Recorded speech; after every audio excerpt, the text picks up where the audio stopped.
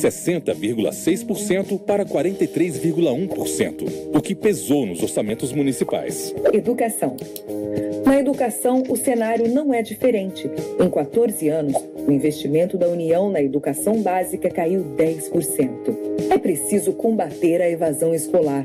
E a educação integral é uma arma para disputar os jovens com o tráfico. Segurança. A insegurança afeta toda a população. É preciso investir em políticas de prevenção e redução da violência. Em 2016, a diferença de gastos em segurança entre os municípios e a União foi cinco vezes maior do que em 2004. Emprego. A geração de emprego e renda depende de investimentos. E os municípios são os principais executores dos investimentos públicos. Em 2016, os municípios executaram 44% dos investimentos públicos, enquanto os estados foram responsáveis por 40% e a União por apenas 16%. É preciso também apoiar as micro e pequenas empresas que geram dois de cada três empregos. Pacto Federativo. As políticas públicas que o Brasil tanto necessita demandam inovação, ações coordenadas entre União, estados e municípios e a revisão da distribuição dos impostos. O diálogo federativo precisa ser aperfeiçoado, incentivado e institucionalizado para que o país enfrente a crise e aperfeiçoe a democracia. Frente Nacional de Prefeitos. O Brasil vive aqui. Senhoras e senhores, ouviremos neste momento as palavras da presidenciável Marina Silva.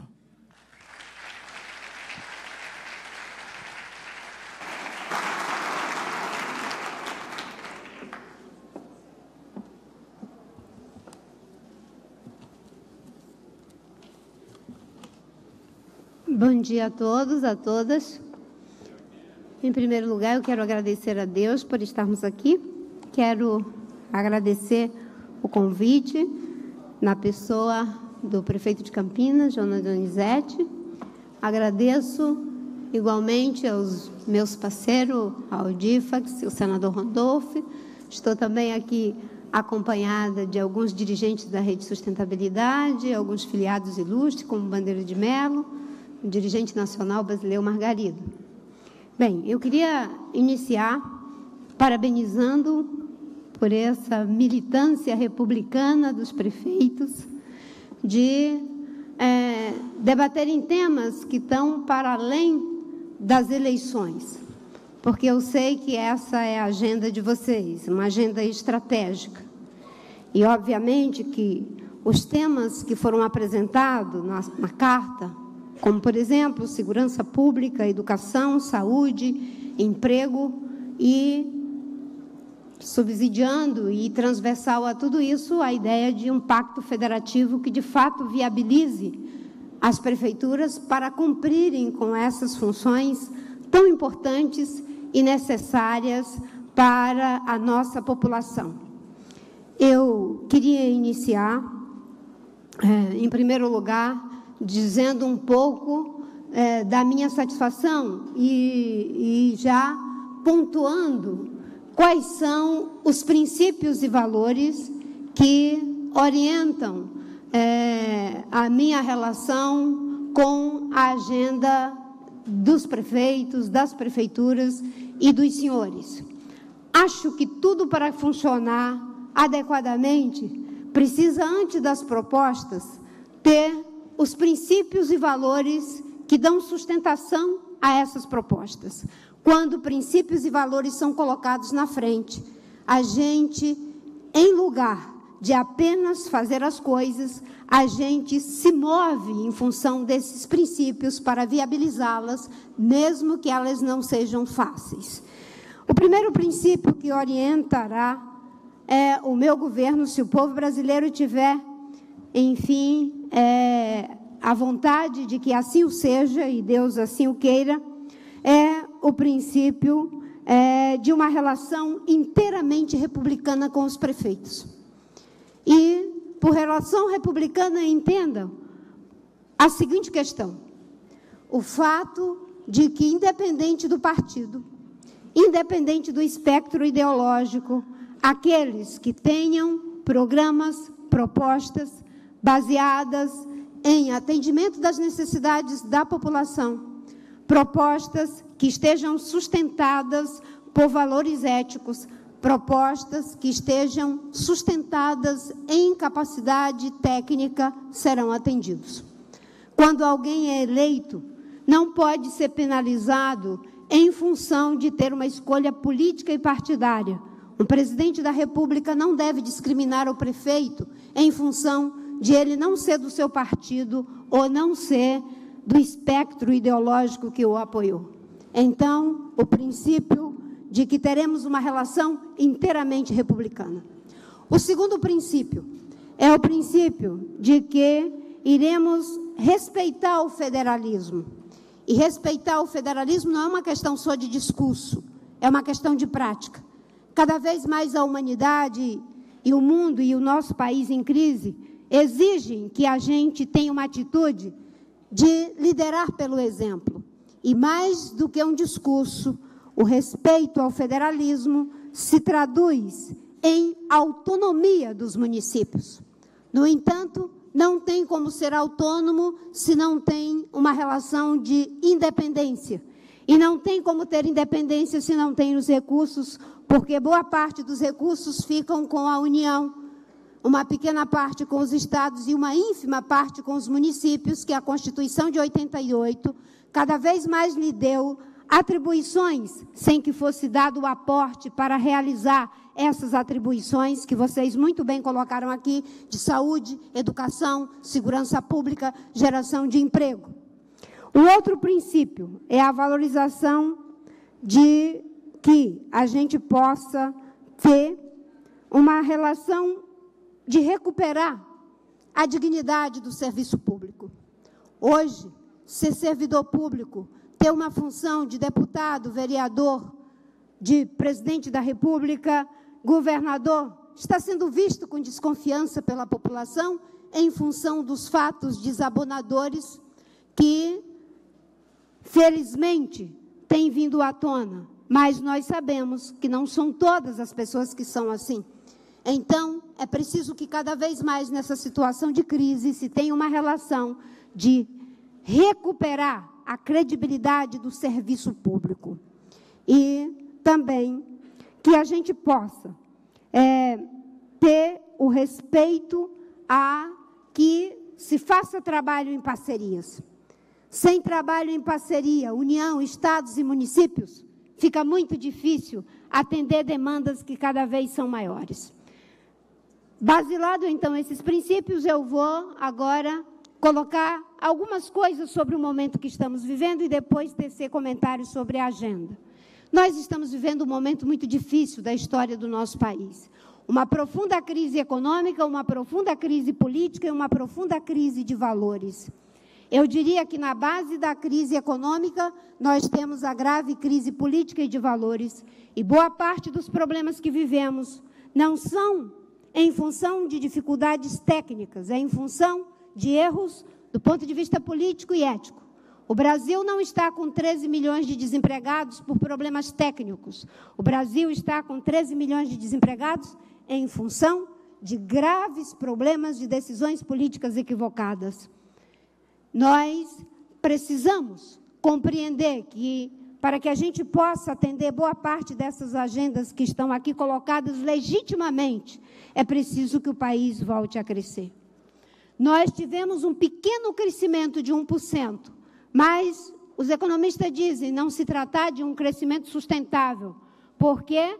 Porque ainda é o que eles chamam de uma recuperação cíclica. Não é fruto de investimento para que se possa é, criar novos empregos, investindo em infraestrutura nova para que o país volte à retomada do seu desenvolvimento. Desse crescimento de 1%, 10% foi na agricultura. Só para vocês terem uma ideia do quanto ainda é pequeno o nosso desenvolvimento. Tivemos graves problemas em relação ao problema do desemprego. Isso faz com que o nosso país, com essa crise, já tenha devolvido para a pobreza os 40 milhões que havíamos tirado com 13 milhões de desempregados, senhores prefeitos e prefeitas, Se considerarmos que por trás de cada emprego tem pelo menos três pessoas, os senhores podem imaginar que multiplicando 13 milhões por três pessoas, nós já temos os desempregados de volta na situação de penúria. E enquanto para o governo federal, o desemprego é uma informação no jornal, nos dados do IBGE ou em alguma estatística, para os prefeitos é um problema real na sua porta, na sua rua, no seu mundo. É por isso que o compromisso em descentralização de recursos, com uma reforma tributária baseada nos seguintes princípios: o princípio da justiça tributária. Quem ganha menos não pode pagar mais. O, o princípio da simplificação. É uma confusão tão grande de tributos que se gasta uma quantidade enorme de recurso, de tempo e de pessoal só para pagar os tributos. O princípio de que se deve ter uma reforma tributária que descentralize recursos.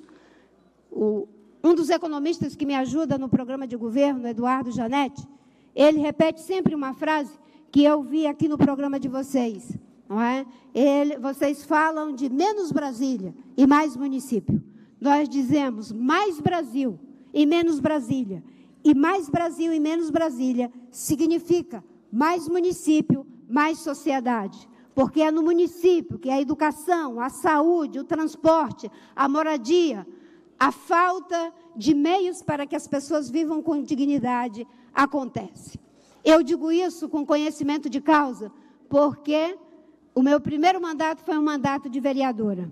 E como vereadora eu sei o que, que acontece na porta do prefeito, da prefeitura, do vereador, porque na verdade nós não temos os meios para o atendimento correto das demandas da sociedade.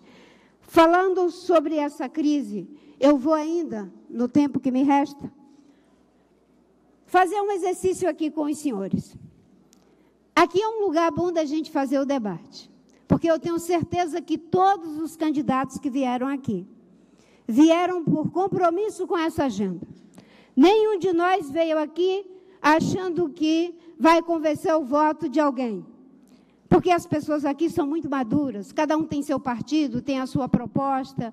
Na verdade, o que nós estamos fazendo aqui é colocando uma agenda republicana baseada, que só funcionará se o princípio que eu falei, ele foi executado não apenas aqui, antes de ganhar, mas depois de ganhar.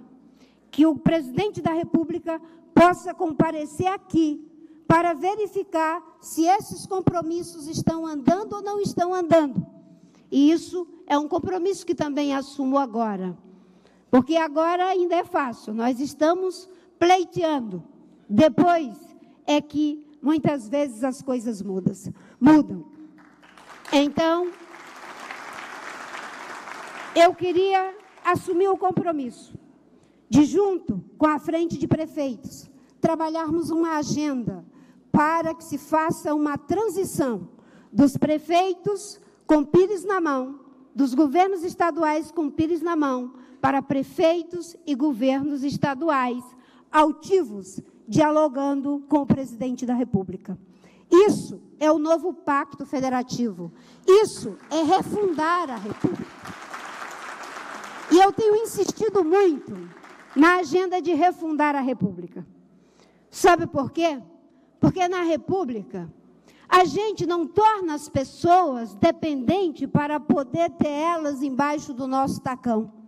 Na República, Audifax, a gente não favorece os amigos, não prejudica os inimigos. Na República, a gente cumpre a lei. Se o prefeito tem direito, é um direito independente do espectro ideológico a que ele defende. Então, eu queria fazer um exercício da seguinte forma. Tenho certeza que todo mundo aqui deseja que o nosso país e o seu município seja um município socialmente justo, economicamente próspero, politicamente democrático, culturalmente diverso e ambientalmente sustentável. Se eu pedir que alguém que é contra isso levante o braço, eu tenho certeza que ninguém vai levantar. E eu não vou pedir porque alguém pode não ter escutado o que foi que eu enunciei e levantar o braço eu não quero constranger ninguém.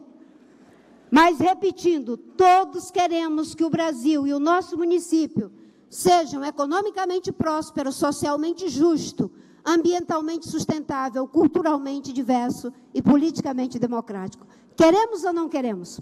Queremos.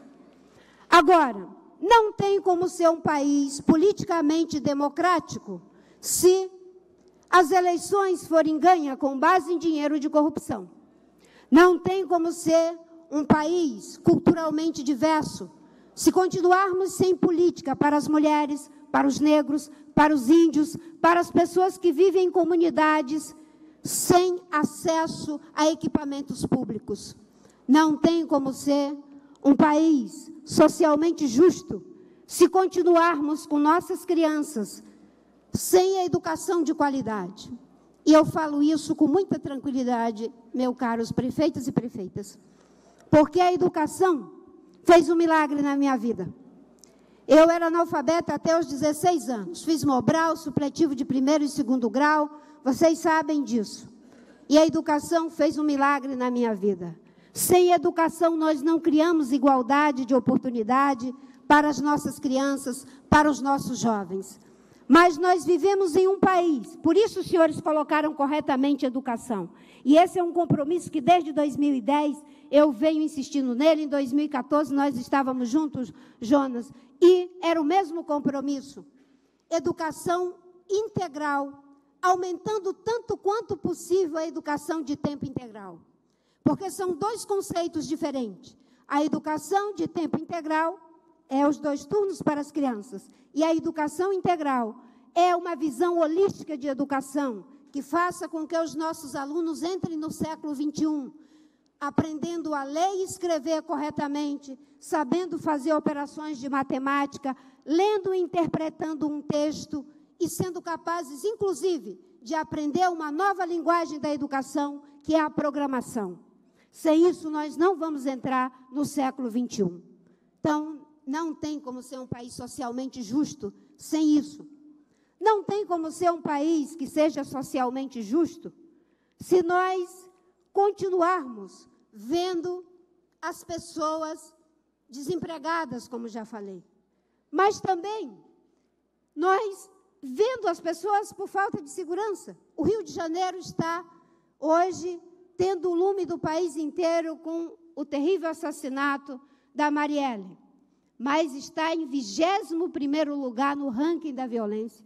Os mais violentos são, sobretudo, no norte e no nordeste. E não tem como ser um país socialmente justo se 60 mil pessoas são assassinadas, a maioria jovens negros de 14 a 28 anos. E, ao mesmo tempo, não seremos um país economicamente próspero com uma indústria que representa apenas em torno de 9% do produto interno bruto, quando já representou cerca de 26%.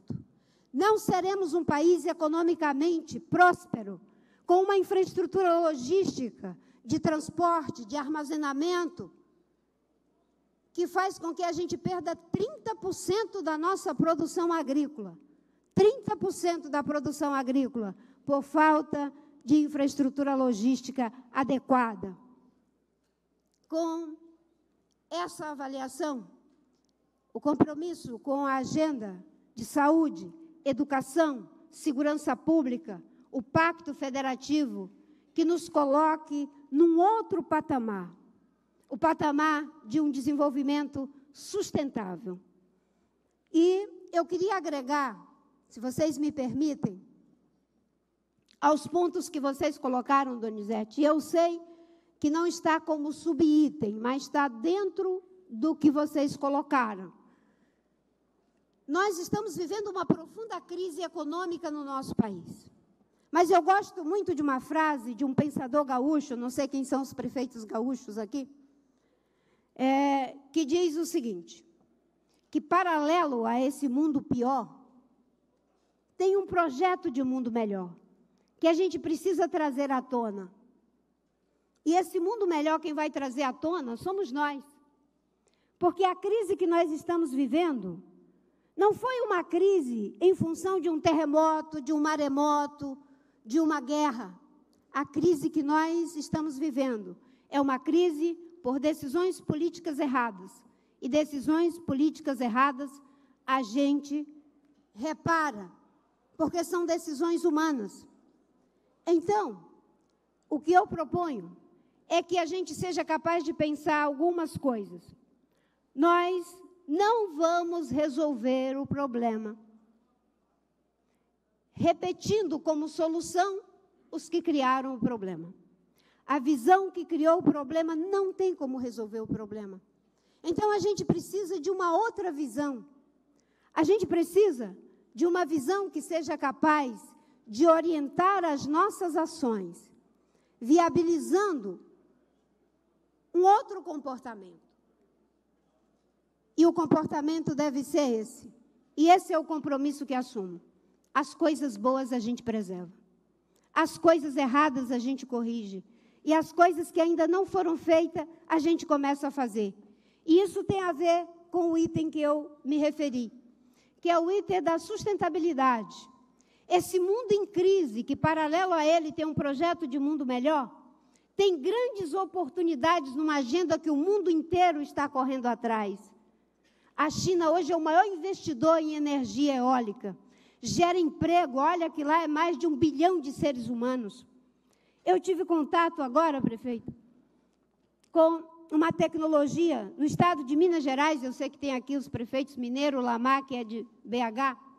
Jovens produziram uma placa solar de garrafa PET que gera energia solar. Que se no semiárido brasileiro nós usarmos uma pequena parte da propriedade com essas placas, é possível uma renda de até 900 reais para famílias pobres. Famílias que vivem com 75, 80 reais, 100 reais do Bolsa Família. Olha a quantidade de empregos que podem ser gerados com nova ciência, nova tecnologia, nova, novo conhecimento, uma nova matriz energética. Nós podemos aumentar a produção brasileira agrícola, que já é grande, dobrar a nossa produção por ganho de produtividade. A Embrapa tem conhecimento, tem tecnologia, tem inovação. Para isso, nós vamos precisar dar escala ao programa ABC de agricultura de baixo carbono para os municípios que são agrícolas. Fazer com que se aumente produção por ganho de produtividade. Os grandes já fazem isso por conta própria. O governo tem que fazer isso para pequenos e médios. a agenda da sustentabilidade não é uma agenda puramente ambiental, é uma agenda econômica, é uma agenda social. Eu acabei de chegar da Inglaterra, cheguei ontem, e eu sei o quanto os países desenvolvidos estão apostando nessa agenda. Nós somos o país que tem 300 mi, milhões de hectares de área agricultável, 22% das espécies vivas do planeta nós temos 11% da, da, da água doce do planeta. Nós temos a maior área de insolação do planeta. Nós temos corrente de vento, nós temos biomassa. Quando eu fui ministra do Meio Ambiente, criamos o Distrito Florestal Sustentável, naquela região lá da, de Novo Progresso. E com esse distrito, 5 milhões de hectares, nós geraríamos 100 mil empregos diretos geraríamos em torno de 800 megawatts de energia limpa. Esse é o novo Brasil. E esse Brasil tem que caminhar com esse que está em crise. Mas nós vamos cuidar de onde a bola está, atendendo os problemas de saúde, educação, que vocês muito bem colocam, o Pacto Federativo, e ao mesmo tempo olhando para onde a bola vai estar. Isso se chama pensamento estratégico. Pensamento estratégico é, sobretudo, não dispensar parcerias, é não dispensar o conhecimento que cada um e cada uma tem aqui do cotidiano do povo. E o povo quer trabalhar. Por isso é preciso investir em crédito, no crédito acessível, porque muita gente tem o desejo de ser empreendedor. Com o desemprego, muita gente deu um jeito e conseguiu até um negócio que dá certo mas, como ele não tem acesso a crédito, ele não tem como fazer prosperar o seu negócio. Então, o nosso compromisso é um compromisso de trabalho em parceria com prefeitos, com os estados e que a União de uma vez por toda, seja o espaço de uma nova relação, de uma relação que eu chamo de republicana. Na República, o presidente da República não tem tanto poder. O prefeito não deve ter tanto poder, o vereador, o deputado, o senador. Na República, quem tem poder é a lei. Quem tem poder é a lei. Essa crise está nos ensinando muito. Dizem que sábios são os que aprendem com os erros dos outros. Agora, estúpidos os que não aprendem nem com seus próprios erros. Nós não fomos capazes de aprender com os erros dos outros. Não temos o direito de não aprender com os nossos próprios erros.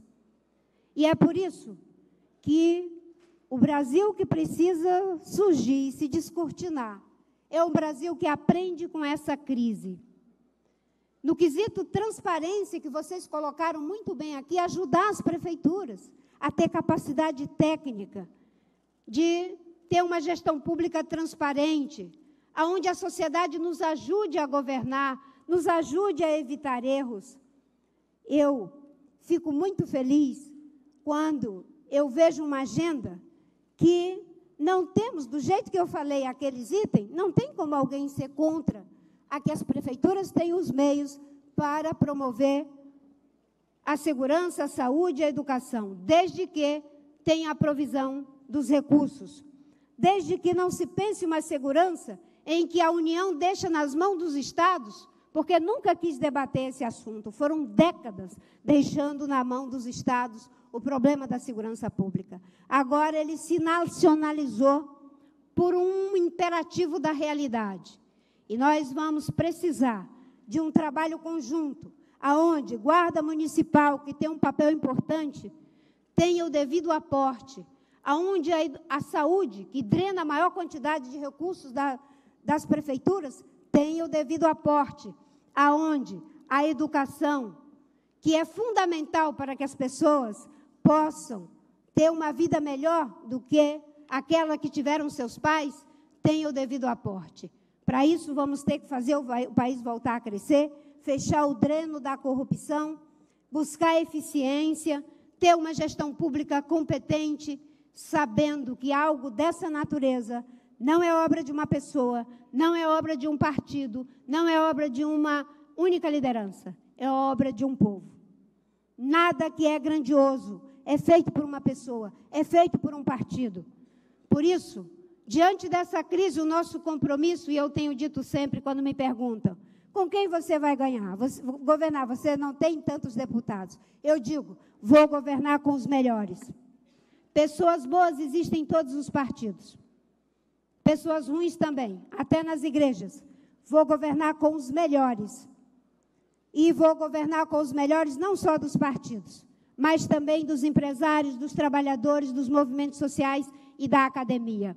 O Brasil que precisa nascer dessa crise tem que ser um Brasil maior e melhor do que esse que tivemos até agora. E isso não é fruto de uma pessoa, é fruto da decisão de um povo que deixa de ser gigante pela própria natureza e se torna gigante pela natureza das decisões que toma em saúde, educação, segurança pública, proteção do meio ambiente, e republicanismo. Muito obrigada.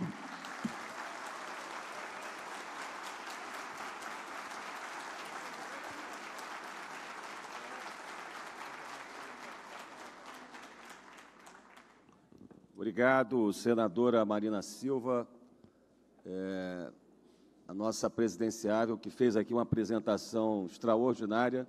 Nós vamos fazer aqui, senadora, o registro da foto do evento e após, eu gostaria também de cumprimentar o nosso amigo prefeito de Serra, no Espírito Santo, o Aldifax, também está aqui no nosso encontro, o Aldifas, e o senador Randolph, para acompanhar também a senadora é, junto à imprensa. Pediria a todos que continuassem aqui no nosso recinto, porque o próximo presidenciável, o senador Álvaro Dias, já se encontra também aqui no Teatro Popular Oscar Niemeyer, e